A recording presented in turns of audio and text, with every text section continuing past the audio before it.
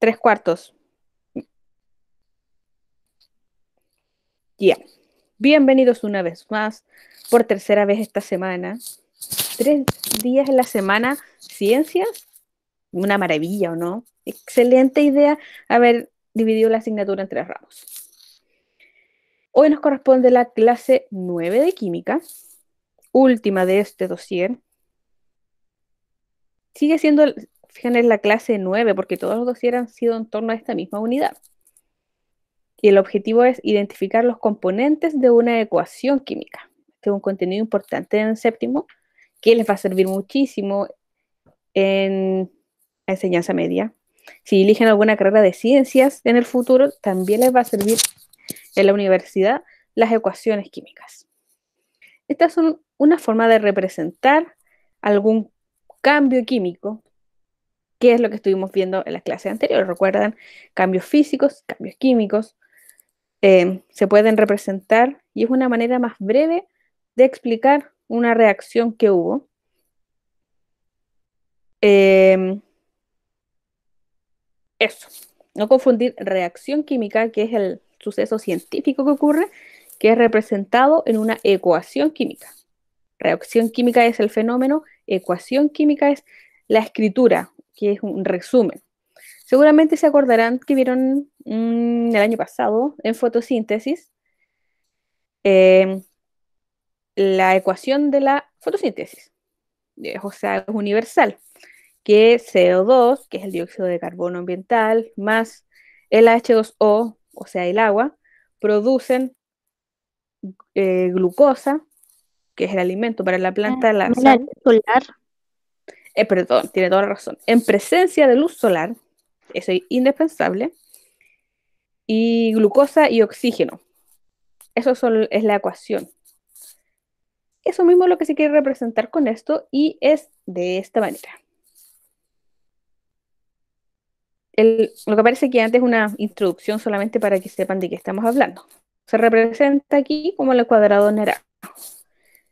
Las sustancias A y B se les llama reactantes. Es la materia prima o digamos los ingredientes que se necesitan para una ecuación. La flecha indica el sentido en el que esta reacción ocurre. O sea, al juntar A y B como resultado, se produce C y D.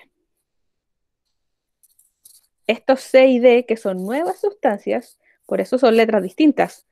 No es A más B necesariamente, sino C y D son productos nuevos. Representan ahí. Ejemplo, voy a volver al que estaba diciendo recién.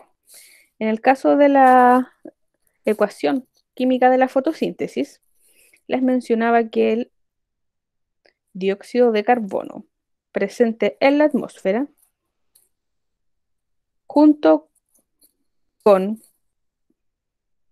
el agua, no la agua, el agua. Esta línea es flecha, es necesaria esa flecha, no es un elemento más, representa el sentido en que ocurre la ecuación química, porque la flecha pues, bien podría estar en el otro no, en el mismo sentido, en distinta dirección. Y eso indicaría que la ecuación ocurre hacia el otro lado que C y D, en este caso, se unen para formar A y B. Ya, ¿recuerdan cuál era la fórmula de la glucosa?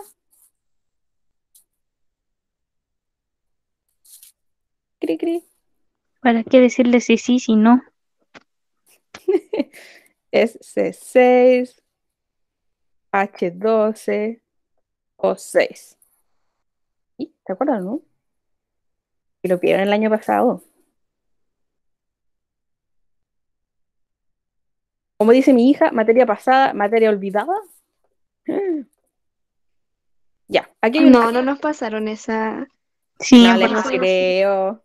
Sí, nos pasaron la glucosa y eso, pero era muy largo para acordármelo. Sí, era largo. Como así como el CO2. Es verdad, nunca nos enseñaron como la fórmula de, la glucosa. En verdad, sí. Yo me acuerdo que no escribieron así como en el CDC y H12 o... ¿Algo les suena? No pusieron, pero yo me acuerdo de eso, pero no me acordaba de eso. ¿Entiendes? Ah, sí, quedó clarísimo, Catalina. ya. Por si acaso, este es el dióxido, de carbono, también lo podría escribir de esta forma, pero no, mucho menos científico, mucho más entretenido. Así, entonces igual es impactante. Si le muestran esto a un niño, no sé, de cuarto, va a decir, ¿qué? Cuando yo estaba en la universidad y estudiaba ya, tenía cuadernos enteros de estas ecuaciones químicas, mi hermana me decía que era en chino.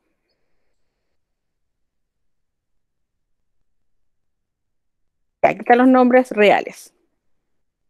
Cada uno de estos elementos, fíjense, son cuatro, están representados aquí como su compuesto químico. Entonces A es el CO2, B es el agua. Unidas en presencia de luz solar, porque si no, no funciona. La, en realidad la luz está formada por unas partículas llamadas fotones. Esos eh, ingresan al cloroplasto, la parte de la hoja que, tiene el pigmento de color verde, la clorofila. Ahí ingresa y hace el fotón, hace que comience una reacción química que se produce energía y inicie, e inicie el proceso de fotosíntesis. Por eso tiene que ser en presencia de luz. Ya, en este caso el oxígeno y el agua serían reactantes. Como les decía, la materia prima, los que se unen y los productos, en el término de la reacción, sería la glucosa y el oxígeno. ¿Sí? ¿Me creen? Créanme. Sí, le creemos. Ah, bueno, yo le creo. ¿Sí? Ese más del resultado tiene que ir sí o sí. Sí. Si hay más de. Yo entiendo como ese más, que después también se van a seguir sumando, y así, y así, y así. Pero. ¿Se van a ir sumando otros productos más? No, no, no, no. Que eso se van a sumar y te va a dar otro. Y así. A eso. Ah, también podría ser que estos sean productos para una tercera reacción. O sea, o para Es una que segunda. ese más a mí me da a entender eso. Por eso le preguntaba si en algún momento se podría sacar y poner como un i o qué sé yo. No, o Siempre va a ir es más. Yes. Ya. Esta es la ecuación de la fotosíntesis universal, para que la recuerden. Siempre reactantes, los del principio, y productos. Bajemos eh, los ejercicios entonces. En las siguientes ecuaciones, lo escribí en inglés, ecuaciones químicas, compara los elementos de reactantes y productos, reactantes antes de la flecha y los productos después de la flecha. Y comprueba que se cumple la ley de conservación de la masa. ¿Qué? ¿Cuál es esa ley? ¿Se acuerdan? Cri, cri, otra vez. No, tía, no me acuerdo. Los pillé, que no les gusta mucho química. No, en verdad no. Lo siento, pero es la verdad. La ley de, estoy segura que la conocen, pero tal vez no el nombre. Esta ley, universal también, de conservación, o sea, se conserva, algo se mantiene, que la materia. Dice que textual, la materia no se crea. Y se destruye. ¿Ven? No Solo se transforma. Ah, ¿ve que se está bien? Energía. ¿La energía también? Ah. Vale, decir, no puedo yo transformar un objeto, puedo cambiar su tamaño, su estado, puedo fragmentarlo, pero jamás se va a destruir la materia. Entonces, debo comprobar esta ley. ¿Cómo hago eso? Mm, mm, mm. Sumando. Cada una de estas letras mayúscula representa un elemento químico. Estos elementos se ordenan en la tabla periódica, seguro la han visto por ahí. Se hará con detalle en octavo, en la unidad de química. Y el número que está bajo las letras simboliza la cantidad de átomos de ese elemento. A ver, traducido al español. Aquí voy a agregar un poquito. Está H y abajito un 2. Aquí hay H. 1, 2. Aquí el O2. La pelotita naranja es una O. La de abajo es otra O. Aquí abajo. Na y Na significa que esto es Na2. Lo voy resolviendo al bajito. Todo lo que yo escriba en rojo debe ir en su dossier. Vamos a analizar entonces esta reacción. Esta es la que ocurre la formación de agua. Si se fijan aquí en el producto, son una, dos moléculas de agua. Este símbolo línea roja que hay en... A ver, retrocedo un poquito. Cada una de las pelotitas, para que ustedes, si quieren, van escribiendo ahí en su dossier, cada pelotita pequeña es un átomo. Ahí.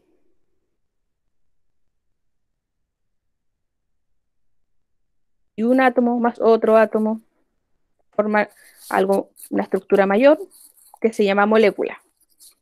Esas moléculas forman gracias a estas uniones, que es la línea roja que les indico, que se llama un enlace. ¿Sí? Eh, creo que dos dosis atrás vimos esto. Aquí hay H2, o sea, esta pelotita azul es H, esta es H, esta es H y esta es H. Pero hay dos. O sea, hay cuatro H en realidad. O sea, aquí se hace lo que se llama equilibrar una ecuación. Al equilibrar, lo que hay a la izquierda de la flecha tiene que dar la misma cantidad de elementos químicos, representados por letras, que la derecha de la ecuación. O sea, reactantes la misma cantidad que productos. ¿Y por qué? Porque la materia no se crea ni se destruye, solo se va a transformar. En este caso no va a desaparecer ni las H ni las O, se van a transformar en otras, se van a unir de manera diferente, pero ninguno, ninguna molécula va a desaparecer. Ya, dicho esto, tengo H2 y lo sumo con O2. ¿Cuántas moléculas? No, vamos a empezar por el H. El H es hidrógeno por si acaso. Pregunta, ¿cuántos átomos de hidrógeno, de H, hay en los reactantes? Átomos. Cuatro. ¿Y cuántas moléculas? Dos. Correcto. Los átomos se escriben aquí en el numerito de abajo y las moléculas, para poder diferenciarlas, se escriben en un número más grande antes de la letra. Entonces, si pongo 2, H2, estoy diciendo, ahí está esta molécula de H2 copiada dos veces paso al oxígeno. ¿Cuántos átomos de oxígeno hay? La hoja del oxígeno. Uno. Dos. Dos átomos. ¿Y cuántas moléculas de oxígeno? Uno. Uno. Podría poner el uno, pero igual que en matemática, cuando hay un número antes, ¿cómo es? Todos los números están multiplicados por uno, divididos por uno y elevados a uno, algo así pero no se pone. De hecho, todos los números enteros están divididos por uno, pero no se agrega ese uno. Cuando es solo una molécula, no se pone la cantidad antes. Procedo a la parte de los productos. Aquí debe ir una flecha, pero no logro encontrar el símbolo de flecha en mi computador. O sea, ese símbolo que es como una B corta. No logro descubrir cómo se hace. Se dibuja la flecha. Ahora, agua.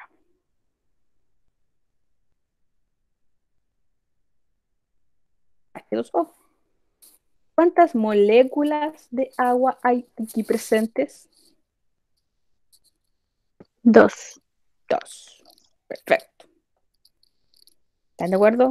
Aquí hay una, dos. Recuerden que una molécula es más grande, es la suma de dos o más átomos. Cada una de estas pelotitas es un átomo. La unión es una molécula.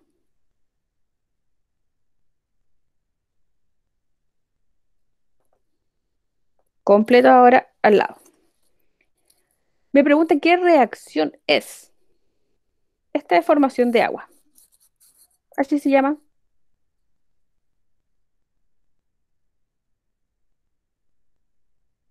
Tía, y uno no puede poner el puro nombre del resultado, por ejemplo, H2O. O tiene que poner creación de H2O o formación. Bueno, ya póngale así. No hay problema. Pero en alguna prueba o alguna cosa, ¿se puede poner solamente el cosito o tiene Mm, todo eso? mm, pero ¿cómo sé yo que saben que H2O es agua? Mm, bien pensado. Ya pongamos entonces H2O agua. Así quedamos en el medio y todos felices. Uy.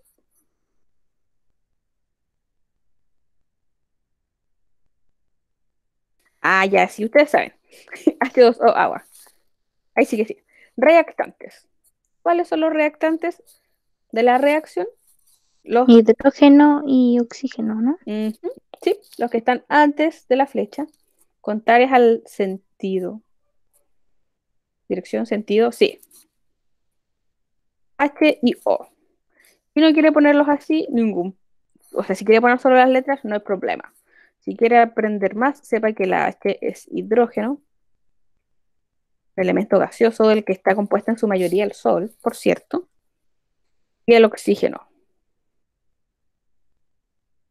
necesario para todos los organismos que no hacemos fotosíntesis.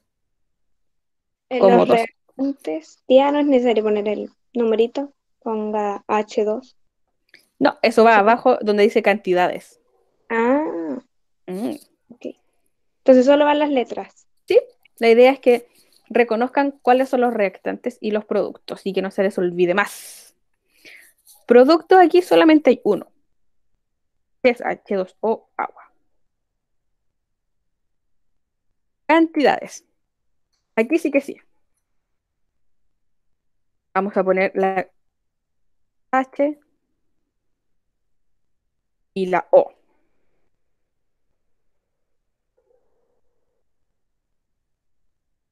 Después vamos a poner otra vez H y O. ¿Por qué dos veces? Porque el objetivo es, recuerden, más arribita, voy a subir. Comprueba el que poner la- las, como, ¿cómo se llama esto? ¿Tiene que poner la cantidad de moléculas y de átomos o solo de moléculas? Yes. Ah, em, contemos átomos. Así vamos a comprobar el cumplimiento de la ley de conservación de la masa. Ya, atención a esta parte. ¿Cómo cuento la cantidad de átomos? Puedo ir, sí, uno por uno contando las pelotitas y descubrirlo, pero en una ecuación química más compleja o en otros ejercicios no van a estar estos dibujos. Imaginen que no están, que solamente tienen la ecuación escrita así, con estos números, los números grandes y los pequeños, subíndices. Este 2 antes de la letra H me indica que voy a multiplicar el número que viene después. Igual que en una... ¿Se hace esto no en las ecuaciones en matemática? Lo siento. Pero multiplica este por este. No se preocupen, siempre son números pequeños. Siempre. Y siempre son números enteros, amigables. Y no voy a buscar moléculas gigantes para que tengan que sumar. Mm, hasta 10. Entonces, multiplico así. Ese 2, el rojo, lo multiplico por este 2. Obviamente es 4. Y anoto aquí. Sé en los reactantes tengo 4 átomos de oxígeno. Perdón, de hidrógeno. Paso al oxígeno. No hay ningún número antes, pero ya está presente el oxígeno. Significa que hay al menos uno. Entonces solo copio el 2. Ese 2 significa que hay dos átomos de oxígeno en los reactantes. Y ahora paso a los productos. Hay un 2 antes el rojo, significa que este va a multiplicar las otras cantidades a los otros elementos o a las otras letras, como lo quiera nombrar. Multiplico el 2 rojo por el 2 negro, están alrededor de H, y me va a dar 4. Hay 4 átomos de oxígeno, de ay, perdón, de hidrógeno, tono.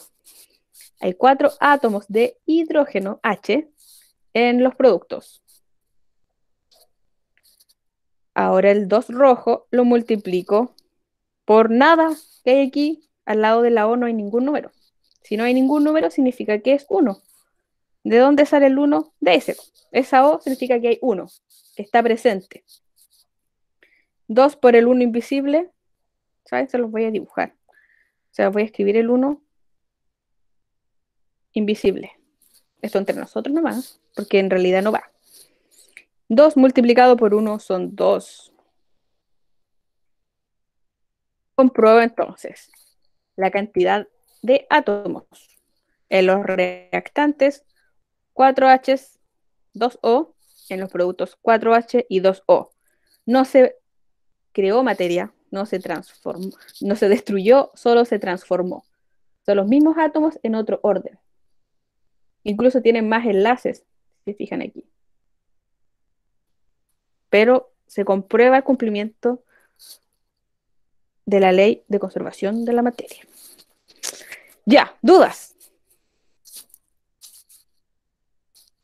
Ya el numerito que tiene abajo, la H, es porque esa cantidad de átomos forma el, en este caso la H era el hidrógeno, ¿cierto? ¿No? Y dio, no, ¿qué? ¿Qué era la H, tía? Sorry, soy Dori. Hidrógeno. Sí, está bien. Entonces, eso significa que dos átomos formaron, o sea, dos átomos son los que se están ocupando. Correcto. Excelente pregunta. Así voy a agregar aquí que los números pequeños, los subíndices, representan los átomos y los números grandes antes representan la cantidad de moléculas. Anoté este datito. Tengo una pregunta. Pregúnteme. Que el numerito grande, ya, digamos que del 2H2O, ¿ya? ¿Ya? Eh, ese, por ese se multiplica el del hidrógeno por, y también de oxígeno. Sí. Por ambos. si está el número antes, se multiplica todo lo que venga más adelante hasta que me encuentre o con un signo más o con una flecha. Ya. En este caso no hay nada. Nada, presentamos preguntas, preguntas. Me preocupa su silencio.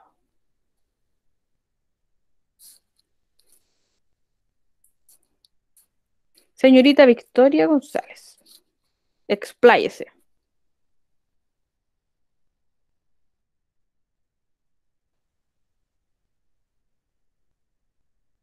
¿Sí? ¿Una pregunta o no? ¿Escribió yo o no? ¿De dónde saqué la suma? ¿La suma o la multiplicación? ¿O esta suma? Ah, sí, la multiplicación. La suma es, existe en la naturaleza, o no, también la puede inventar. Siempre se les va a dar o reactantes o productos. La multiplicación la obtuve al multiplicar el número grande, que son los que escribí en rojo, por los pequeños que están en azul. O sea, la cantidad de átomos por la cantidad de moléculas.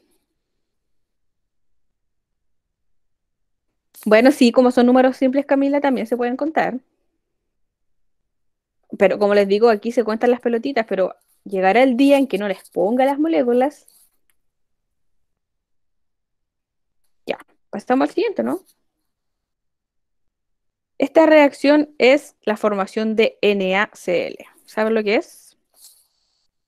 Cloruro de sodio, ¿no? Correcto. ¿Y qué es el cloruro de sodio? Cloruro de sodio. Cloruro de sodio, sal común. Sí, esa que utilizaron a la hora del almuerzo, esa. Que le echaron a la comida para darle sabor, esa. Reacciones que ocurren en la naturaleza. Ay, que estoy escribiendo. Sal, ahí sí que sí. Reactantes. ¿Cuáles son aquí? Los que están al lado izquierdo. siempre, o a veces pueden estar al lado derecho, pero los que no están en el sentido de la flecha, siempre va a ser así. Na y Cl. Si alguien quiere saber los nombres, son sodio y cloro. Productos, el que ya está escrito más arriba. Fíjense que los elementos de la... ¿sí? Ahí dice cloruro. Cloruro, ¿sí? ¿Está bien? ¿Así se llama? ¿No era cloro? Ah, el elemento, uno se llama sodio y el otro cloro.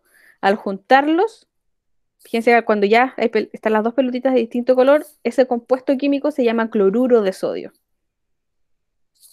Cuando están unidos y forman esta, forman, incluso tienen esta forma como cristalina, como cubitos, igual que la sal. Ya, gracias. Nada. Pregunten, chiquillos, cualquier duda. Ya. Ahora vamos a las cantidades. Esta es la parte buena.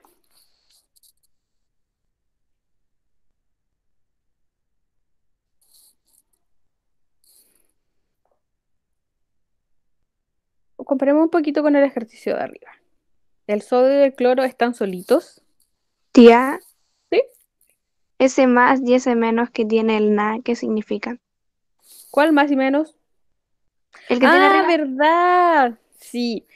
Eh, lo que pasa es que al mezclarse estos son el tipo de unión que realiza el cloro y el sodio es por atracción química y diferencia entre sus cargas eléctricas.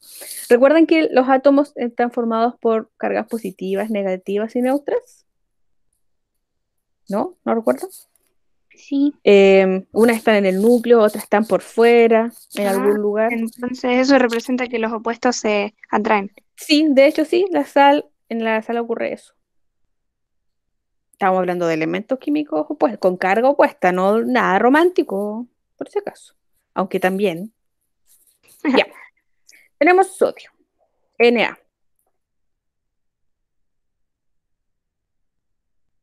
Tenemos cloro, Cl. ¿Cuánto de cada uno? Ujujú. Falta algo importante, el signo más, porque estos se van a unir. hay dos.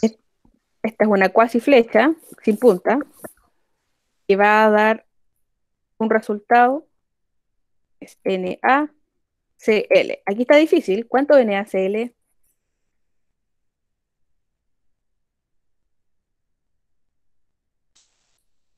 ¿Dos? ¿Tan poquitos? ¿O no? Deberían ser dos.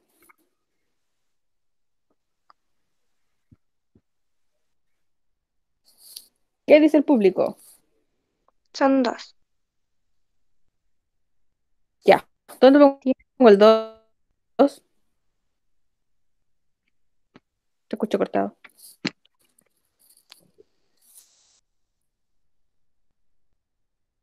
¿Aló? ¿Me escuchan o no? Sí, sí, se escucha, ¿Están solo que se cortaba un poquito. Sí, sí, creo que soy yo, no sé si mi computador o internet. A esta hora siempre me pasa. Y la clase de las 4 es peor. Ya, tengo entonces sodio. ¿Cuántos? Dos. El de arriba y el de abajo. Ah, uy, puse un uno. Ahí sí.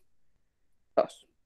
Tengo cloro, Cl, también dos. Ah, lo que les iba a comentar es que los elementos químicos, como se pudieron dar cuenta, arriba se representan solo por una letra. Y los de aquí abajo se representan por dos letras pero siempre la primera es mayúscula y la segunda minúscula. Y esas son todas las opciones de la tabla periódica. O es una letra mayúscula o es una mayúscula acompañada de una minúscula. No ni tres letras, ni, do- ni dos mayúsculas, ni, ni dos minúsculas. Dígame, Que, por ejemplo, las que tienen dos no son como dos de una. ¿cómo? Que ya la que tienen, ¿Cómo de una?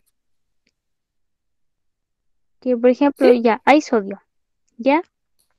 ¿Ese sodio no serán una mezcla entre dos que tienen solamente una? ¿O no? Nada que ver. Una, sí, una mezcla entre dos que tienen. me refiero, una mezcla de dos cantidades de las que están compuestas por una sola pelotita. ¿Eso hablamos? No sé, no caché muy bien. De dos, o sea, aquí un sodio y aquí otro sodio. Estos están compuestos solo por una pelota, por eso aquí no puse Na y abajo un 2. No, no es eso. ¿Qué es?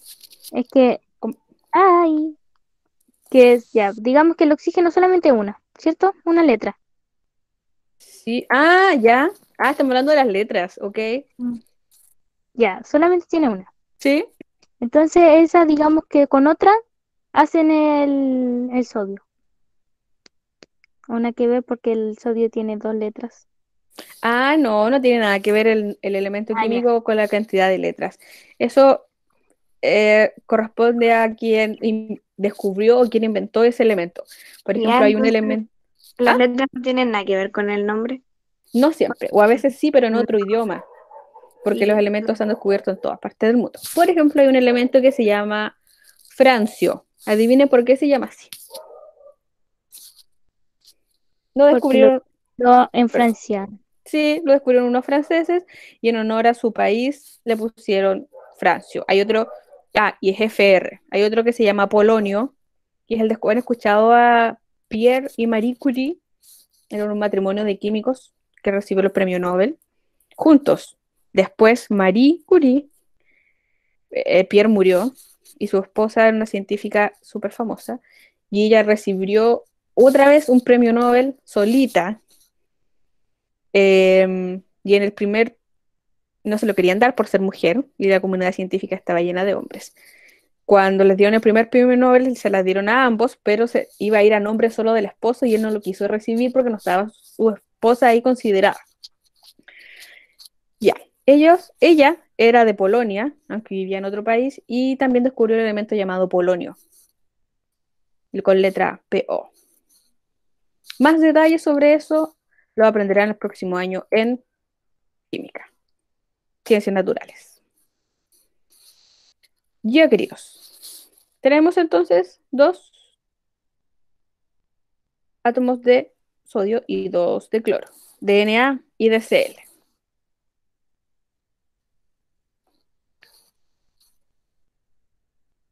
¿Qué cantidad se debería formar de este a este otro lado? No se nota bien en el dibujo en realidad.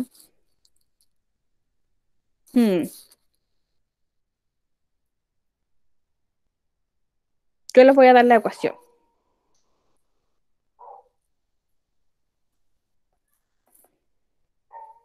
Vamos a comparar cantidades. Para eso tenemos que identificar los elementos químicos, que son Na y Cl.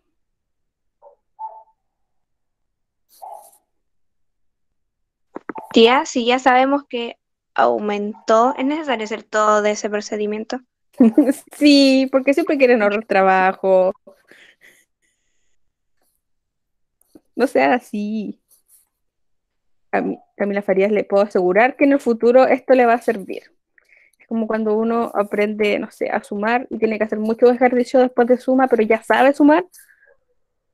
La práctica hace al maestro. Y en este caso también sirve para entender el proceso de formación. Ahora, si ustedes escriben más rápido que yo, pueden ir sin ningún problema adelantando trabajo y haciendo los demás abajo. ¿Cuántos ejercicios son? ¿Cuatro, parece? No se asuste tampoco porque este es recién el comienzo de las ecuaciones químicas que vamos a seguir viendo los próximos dosieres. Y la próxima semana tenemos repaso. Ya, cuento la cantidad de sodios que tengo en los reactantes a la izquierda. Tía, en los dos hay 12. ¿Ah? En los dos hay 12 de cada uno, al final. ¿En serio? Sí. Ajá, ajá. Gracias, Camila. Entonces nos van dos aquí. No, pero hay 12 naranjos y 12 verdes. Sí. 12 Perfecto. naranjos y 12 verdes. 12 naranjos y 12 verdes. En, en los productos, entonces, ¿cuánto de cada uno debería haber en los reactantes? Para conservarla, para que se cumpla la ley de conservación de la masa. ¿Cuánta cantidad 12, de ¿no? NA? 12, ¿cierto? ¿Cómo hago Sí. eso? 12 Na, Sí, 12 Na. 12 Cl. 12, sí, 12 átomos pequeños, solitos de Na, al estar en contacto con 12 de Cl, tienen cargas, se cargan eléctricamente y de forma opuesta. Uno se carga positivo, uno se carga negativo. Al estar en un ambiente, Vamos a ver que antes eran 12. Sí, ahí usted nomás dibujó 4 en total. ah, porque sé que en la derecha son 12, ¿usted mismo lo calculó? No, sí, sí, sí, sí, pero si en alguna prueba o algo así Ah, eso. ¿Cómo voy a saber yo que también eran 12 antes? porque no, siem- no siempre se les va a dar la cantidad. A ver, siempre tienen que ser a los dos lados de la flecha la misma cantidad. Algunas veces se les va a dar la cantidad de los reactantes y otras veces la cantidad de los productos. Ah, entonces a veces tendríamos que calcular los reactantes para saber cuántos eran en el producto y a veces los productos para saber cuántos eran en el reactante. Exactamente. Ah, qué pilla, nada que ver. Pero eso desarrolla su pensamiento científico y, y también pensamiento lógico.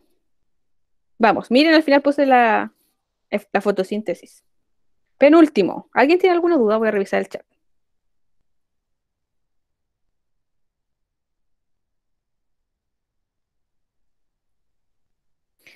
Sí, en la tabla periódica hay elementos, hay una fila de elementos de tres letras porque son elementos que son sintéticos, no se encuentran en la naturaleza, fueron sintetizados en laboratorio y al- ni siquiera los han podido estudiar porque algunos se formaron durante una fracción de segundo, durante alguna reacción química y dijeron como, oh, hay un nuevo elemento ahí, ¿qué pasó? Algunos incluso ni siquiera le dieron nombres, le dieron como, era el, no sé, es el número 107 y se llama septenium y el número 118 octanium. Tía, tengo una duda Esos son los- sobre eso. Esos son los que aparecen como con tres nombres, incluso aparecen en blanco. ¿Sí? Eh, ¿cómo, cómo hacen eso? ¿Cómo si aparecen, por ejemplo, por fracciones de segundo, como dijo usted? ¿Cómo hacen para denominarlo como un nuevo elemento y no confundirlo con otro ya existente? Buena pregunta. ¿no? Eh, no sé, podrían hacer una reacción, eh, determinar los productos o las sustancias que se liberan, por ejemplo, si la reacción produce una combustión, si se enciende una llama o se genera un vapor de un color determinado, y después volver a repetirlo con un posible elemento químico, el que podría ser, el que sería lógico que existiera ahí, y si no ante el, el resultado no es el mismo, dicen, oh, entonces un nuevo elemento que descubrimos. ¿Se entiende? Como si no reaccionan las sustancias con eh, el conocimiento de que ya se tenían, con las propiedades de los elementos que ya se conocen, es un elemento nuevo. Hace dos años, me parece, en 2018, se agregó un, uno o dos elementos más a la tabla periódica, y ya van en 118. Entonces, cuando es algo desconocido, O es un es elemento nuevo. posible que algunos se confundan y en verdad solo existan dos. No, debe ser, no, no creo que se confundan. Si hay una comisión O internacional para eso. que es posible que confunda y, y. No, pensemos que no, no sé, en realidad. Pero hay una comisión de científicos químicos a nivel internacional que revisa eso, no creo que, que se equivoquen. Bueno, capaz que sí, pensaron cuánto tiempo que la Tierra era plana. Hoy día en con sexto estábamos, estábamos viendo que en el año 1000, los 1600 se creía que las plantas se alimentaban solamente de agua y que no tenían nada que ver ni con oxígeno, dióxido de carbono, ni que producían su propio alimento. Bueno, Aristóteles pensaba también que se alimentaban de agua y tierra, sea que las plantas comían tierra de alguna forma. Y era falso. Así es la ciencia, eso es lo entretenido. Se da cuenta un día un- puede aparecer una noticia, un descubrimiento que derrumbe todo el conocimiento de la química o de la física que hay a nivel mundial. Súper. Todo puede estar equivocado. Sí, entonces van a decir ya, todo era falso, ups, nos equivocamos. ¿Sí? sabe que en algunos países están encontrando la cura para el COVID. Ah, sí, me contaron hoy día, no me acuerdo qué curso, en Rusia, parece o no. Sí, en Rusia. Dicen sí que encontraron una vacuna y iban a producir no sé cuántos millones. Tía, No sé. Sí, será- Dígame. pero ¿sabe que ahora los chinos están encontrando una enfermedad de los chanchos? Ah, el H1N1, la fiebre porfin- porcina, pero eso ya ocurrió hace unos años atrás. Seguramente el, vito- el virus mutó nuevamente, igual que COVID. Sí, es verdad. Pero es como una fiebre porcina. De- también hace unos años una fiebre aviar, porque la transmitían los, las aves. Y la porcina, claramente los cerdos. La COVID, los murciélagos, no sé. Ya, avanti. Siguiente ecuación. Esta es formación de, wow, dióxido de carbono, agua, ah, falta aquí.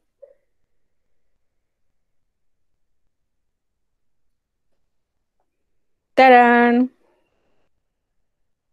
Hoy mi computador está pegadísimo. Lo vamos a ir lentamente con las ecuaciones. Porque tenemos harto tiempo para hacerlo. No sé por qué había un cuadrado blanco ahí.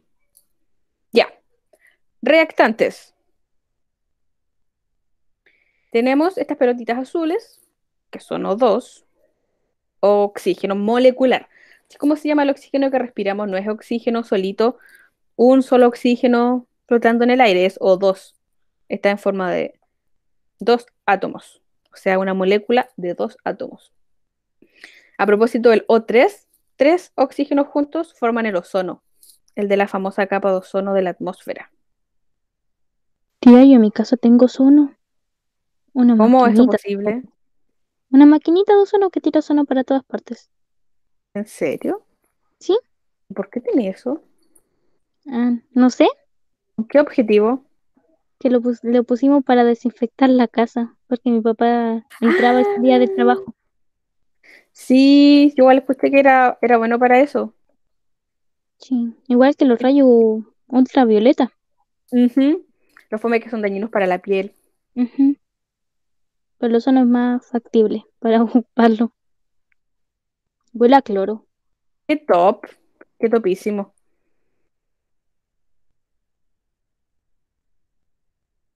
Estamos escribiendo todos juntos, ¿cierto?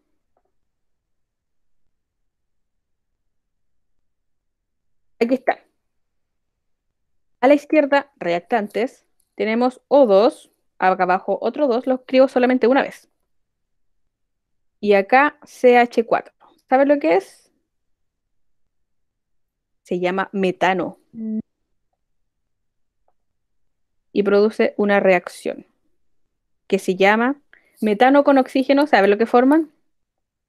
Dióxido de carbono. Ah, eso es trampa. Sí, forma una reacción exotérmica que libera energía en forma de calor y de llama, una combustión, a propósito.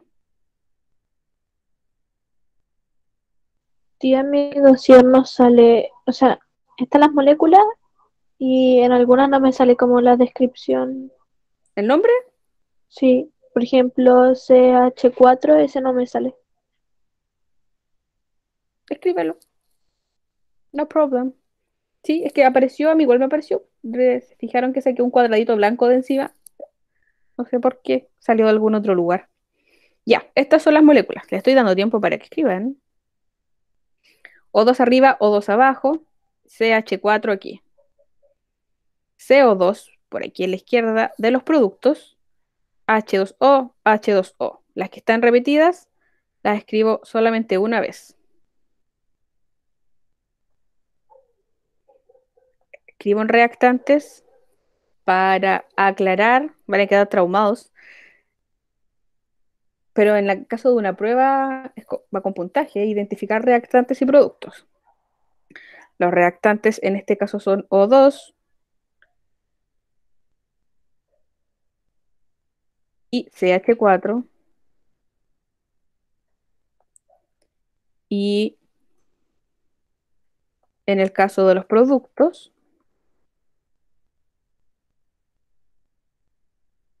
Tía, pero no es que se ponían solo las letras. Sin el numerito, chiquitito. Ya, bueno. Porque las íbamos a ver al final en las cantidades y todo eso. Ya, bueno, bueno. Sin número entonces. O, C y H. O casualmente los productos también. C o H. En distinto orden, pero siguen siendo los mismos. Ahora vamos por las cantidades. A la izquierda tenemos O2. Pero hay dos moléculas de O2, la de arriba y la grande. Recuerden que una molécula, cada pelotita solita es un átomo. Dos o más forman, dos o más átomos forman una molécula. Hay dos moléculas de oxígeno aquí. La molécula de arriba, la molécula de abajo.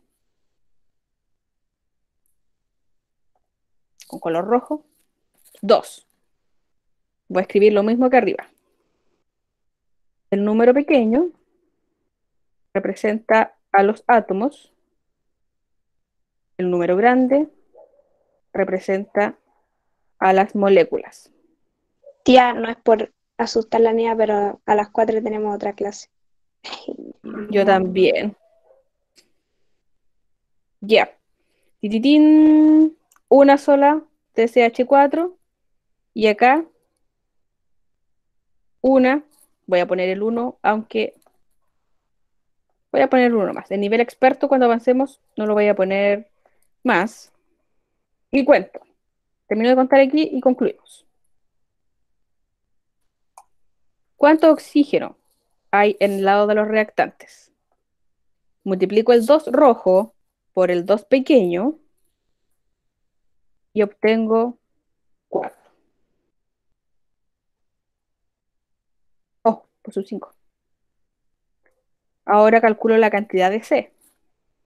A propósito, la C es carbono. Y se me pegó el computador.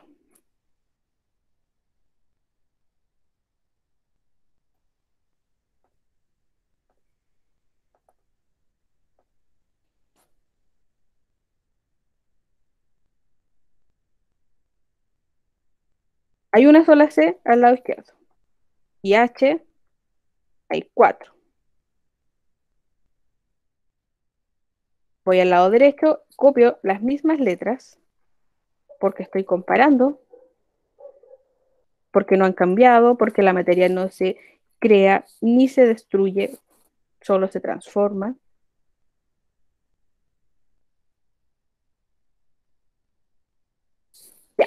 A la derecha hay, aquí hay dos oxígenos. Aquí, lo que tengo marcado. Ah, y acá, error. Un oxígeno aquí y en el agua hay dos oxígenos. ¿Cómo obtengo esos dos oxígenos? Multiplicando 2 rojo por el 1. 2 por 1, 2. Más los 2 del dióxido de carbono, 4. O sea, 4 oxígenos en reactantes, 4 oxígenos en producto. Se comprueba la ley de conservación de la masa. Carbono, 1, no hay más opciones, no hay más moléculas. ¿Y qué me falta? Hidrógeno. 2, el 2 rojo, por el 2 pequeño, 4. 4 hidrógenos a la izquierda, 4 a la derecha. Se comprueba entonces la ley de conservación de la masa. Ya queridísimos.